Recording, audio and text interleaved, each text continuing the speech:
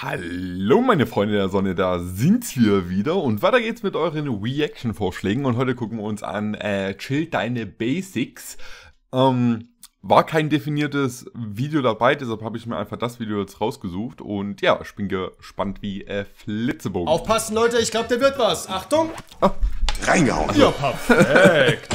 Ja Leute, ihr habt den Titel richtig gelesen. Das hier ist eine Spezialfolge von Chill Deine Basics, denn dieses Mal sind die Space Frogs mit dabei. Juhu! Hallo. Ach schön, YouTuber machen mal Videos zusammen, so wie in den guten alten Zeiten früher, wo das ja gang und gäbe. Boah, da, da, das habe ich ja schon mal äh, in irgendeinem Video gesagt, ne? Ich finde das momentan voll traurig, dass irgendwie auf YouTube, wenn ich mal überlege, damals so die, die, die, die COD, die deutsche COD-Community, also gerade so die ganzen YouTuber, die haben ja alle zusammengehalten, ne? Man, man hat sich irgendwie am Wochenende getroffen, hat zusammen aufgenommen. Irgendwann ist es dann so weit gekommen, dass man sogar zusammen gestreamt hat. Und heutzutage wenn man jemanden fragt, der hast du Bock äh, mitzumachen, ich sehe, du machst so dieselben Videos, kommt dann so eine Antwort von wegen, hey, guck, guck's mal, du hast nur 1000 Abos, ich habe schon 2000. Solche Antworten kriegt man dann. So, dann denke ich mir auch so, ja, alles klar. Gut, dann ist es halt so. Ist eigentlich voll traurig, ne? Ja. Aber wird sich Sepp mit den Berlinern verstehen? Wird er dieses Mal an einer Alkoholvergiftung sterben? Und wie oft geht er dieses Mal mit einem Messer auf Alois los? Tja, ich würde sagen, lassen wir uns überraschen, oder? Also wünsche ich euch viel Spaß mit dieser Folge von Chill in the Basics. Los geht's! Yahoo!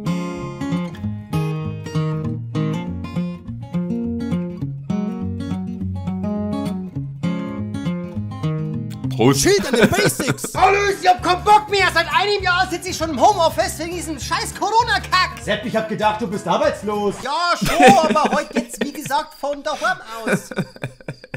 Hä? So, Lucy Warshow, deine Wirtschaft hier ist wegen dem Lockdown immer noch geschlossen. Deswegen habe ich in weiser Voraussicht mir selber was mitgebracht. Sepp, nur weil sie dich das letzte Mal nicht erwischt haben, heißt es ich kenne jemanden, der ähm, arbeitet für einen großen Betrieb, ich sage jetzt auch nicht den Betrieb, ne, Grüße gehen raus, ähm, der kann sich immer aussuchen, das können ja immer viele, ob die in äh, Homeoffice arbeiten oder ob sie in der Firma arbeiten. So, das war bei ihm auch schon vor Corona. Und der hat eigentlich sich immer für Homeoffice entschieden. Und letztes Mal hat er sich so voll aufgeregt, so, oh, ich bin hier nur im Homeoffice, ich will mal wieder in die Firma gehen. Und da habe ich zu denen gesagt, du warst nie in der Firma, du bist nur im Homeoffice äh, vor Corona gewesen. Was regst du dich jetzt auf? So, solche finde ich, am, solche find ich am geilsten, weißt du? Die, die sich aufregen, also einfach grundlos aufregen, ne? Die einfach irgendwas zum Aufregen. Das sind Leute, die brauchen irgendwas zum Aufregen. Irgendwas brauchen die zum Aufregen. Dass ich diesmal nicht wieder die Polizei rufen werde. Alles, warte doch mal. Ich hab dir doch auch was mitgenommen. Da, schau, das ist für die. ich lass mich doch nicht verarschen. Ihr habt das Recht, mich zuzusaufen. Ohne Scheiß jetzt. Ja, du bist wieder da! Nice, das schön, dich zu sehen. Wie geht's denn dir so? Ich hoffe natürlich total gut, einfach nur. Na komm, jetzt, jetzt rasch mal wegen über Gott und die Welt. Hast du vielleicht sogar irgendwie ein Wunschthema oder sowas? Wusstest du, dass die Space Frogs ein Video für dich gedreht haben? Was? Space Rocks? Wer war das jetzt nochmal? Alois, kennst du die eventuell? Ja, das sind so zwei Berliner YouTuber, die über Dinge lästern und Drogen zelebrieren. Klingt irgendwie sympathisch. Aber was, was? Schau doch einfach mal rein, was die so für Videos machen. Gib mir der Sache einfach mal eine Chance. Wird schon ganz lustig sein, hoffentlich. Ihr traut euch nicht, weil ihr Angst vor diesen Shitstorms habt. Da mache ich den Anfang. Essen Pfannkuchen, weil sie in großen Pfannen gemacht werden. Alarm! Alarm! Nimm das sofort zurück, du Arschloch! So schaut der Pfannkuchen aus, also halt die Fresse! Jetzt auch keine Diskussion, es ist so sicher wie das Amen in der Kirche! Ja, oder wie du hässlich bist! Alois! Aber Moment mal, wenn die Berliner das Pfannkuchen nennen, wie heißt denn dann bei denen der richtige Pfannkuchen? Äh, ich, ich glaube, ich glaub, die nennen das Eierkuchen. Aber diese Burschen haben jetzt für mich ein Video gemacht, oder was? Ja, das kann ja was werden. Ich hoffe wirklich, dass ich mich nicht aufregen muss. Aber jetzt, jetzt schauen wir rein die Sache, ich bin echt gespannt. So, Kinder, wir erzählen euch heute mal ein bisschen über die ganz doll schädliche Droge Alkohol. Die ist nämlich ganz bubu böse. Jungs, was werden das? Ich hoffe, das war ein Scherz. Nicht nur Wissenschaftler, sondern auch die Bundeszentrale für gesundheitliche Aufklärung sagt, man sollte nicht mehr als einen halben Liter Bier am Tag trinken. Was? Was? Wie war das? Und es ist auch sehr wichtig, dass man in Regeln... Genauso wie, ähm, wenn Leute sagen, ähm, man soll nicht, nicht mehr als ein Bier trinken, ne?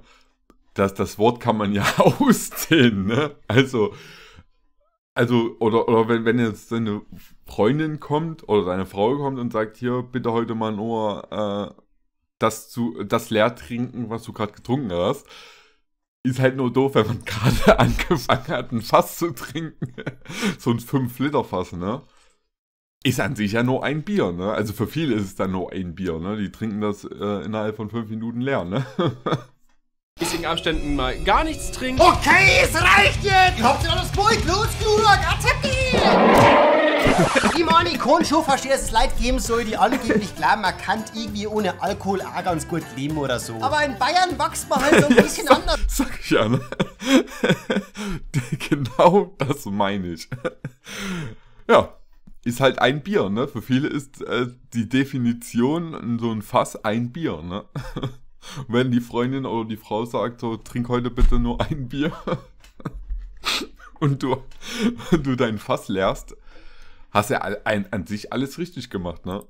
Ich meine, ein Mann ohne Bier, das ist ja wie ein Br Brombeerstrauch ohne seine, seine Nadeln, oder? Oh. Ja, aber ich meine, was sauft denn der Durchschnittsdeutsche denn so? 95 Liter Bier trinkt der Durchschnittsdeutsche im Monat. Oh, oh nee, nee, im Jahr. Was? Nur 95? Boah. Moment, das muss ich erstmal kalkulieren. 95 Liter durch 365 Tage. Das heißt, man trinkt dann 0,26 Liter am Tag. Du Alois, davor wird doch keiner blau, oder?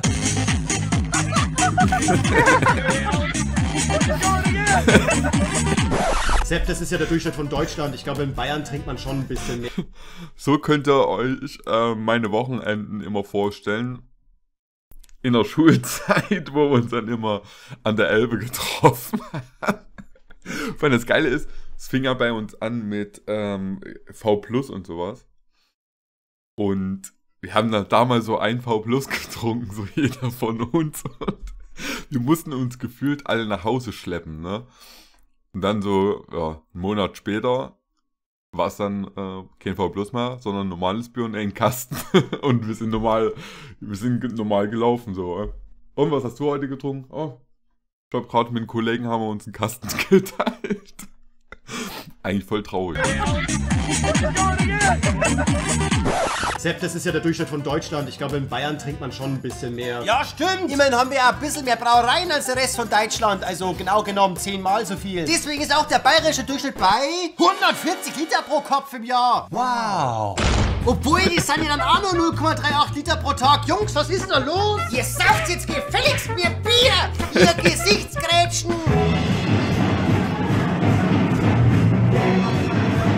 Ist denn das? Ihr fragt euch jetzt natürlich, was für Schäden entstehen denn, wenn ich mir ordentlich ein ne, beim Free Climb reinkippe. So, ganz vorneweg natürlich Leberschaden. Dafür müsst ihr euch vorstellen, das hier ist eure Leber und das ist Alkohol. Das ist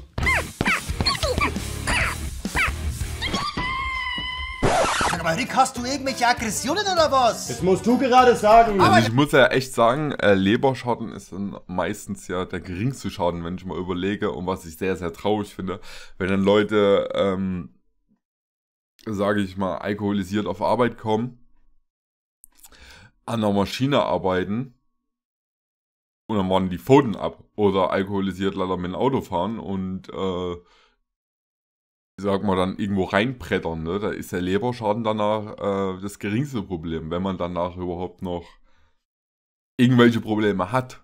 Ne? Ja, das stimmt schon, die Leber, die muss schon was aushalten, das ist schon richtig, aber andererseits ist Bier auch wirklich sehr lecker und macht herrlich blöd. Aber auch das Gehirn leidet, wenn ihr euch regelmäßig was reindübelt. Also die Gedächtnisleistung nimmt super stark ab und die, die äh, Konzentration äh. und die, die, die, Gedächtnisleistung, die nimmt auch stark ab, wenn ihr zu viel trinkt.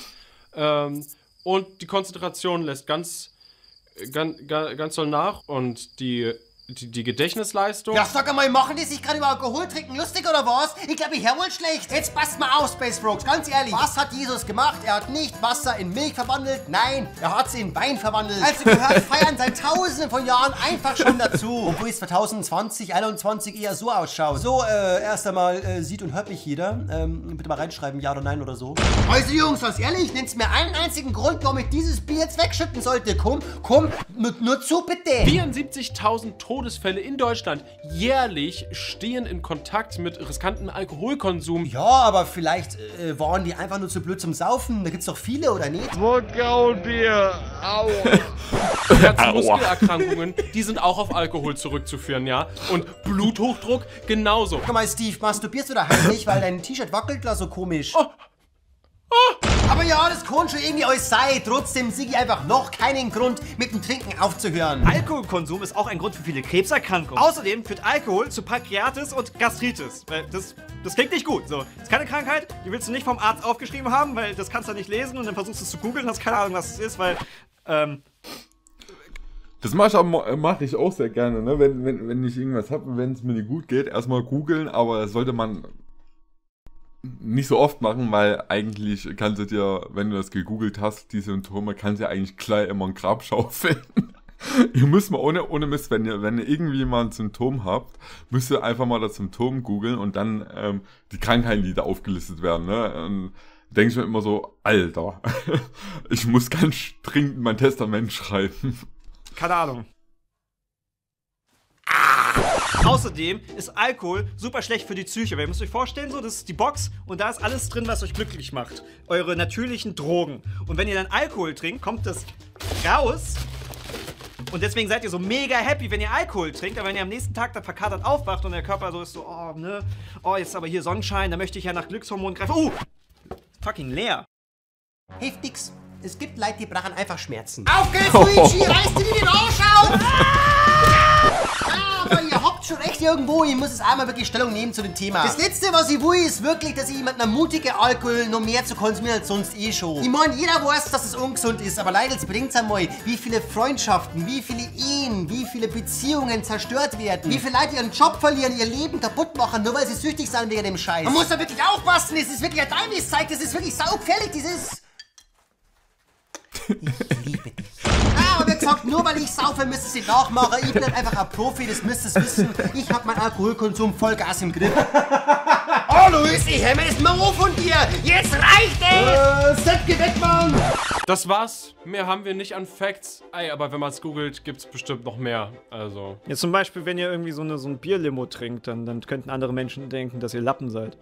Genau, ganz gefährlich. Das, das, wollt ist ihr ganz nicht. gefährlich, genau. Ach, schön, toll, was wir wieder alles gelernt haben heute. Wollt ihr eure letzten Besuche Revue passieren lassen, dann hier auf die Videos klicken. Ansonsten würde ich sagen, lasst gerne mal ein Like und einen Kommentar da. An der Stelle musst du dich aber bitten, endlich zu gehen, weil du darfst gar nicht hier sein. Und an der Stelle würde ich sagen, rufe ich auch mal die Polizei jetzt. Oh, Luis, was werden das? Jetzt hör auf! Okay, okay, oh, Luis, ich geh jetzt. Tschüss, tschüss, bis Aber Ah, ich muss echt sagen, äh, war sehr, sehr geil gemacht. Also wirklich hat mir extrem Spaß gemacht beim Zugucken. Ähm, ja, für die Leute, die da draußen viel Bier trinken, hört mir, also, ne, versucht einfach den Konsum ein bisschen runterzuschrauben.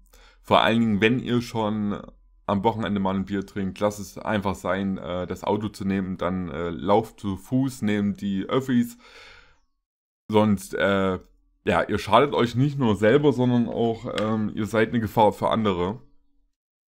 Und ähm, ja, ich hoffe, es hat euch ein bisschen gefallen. Wir sehen uns definitiv, dativ, akkusativ in der nächsten Aufnahme. Bis dahin, haut rein und tschüss.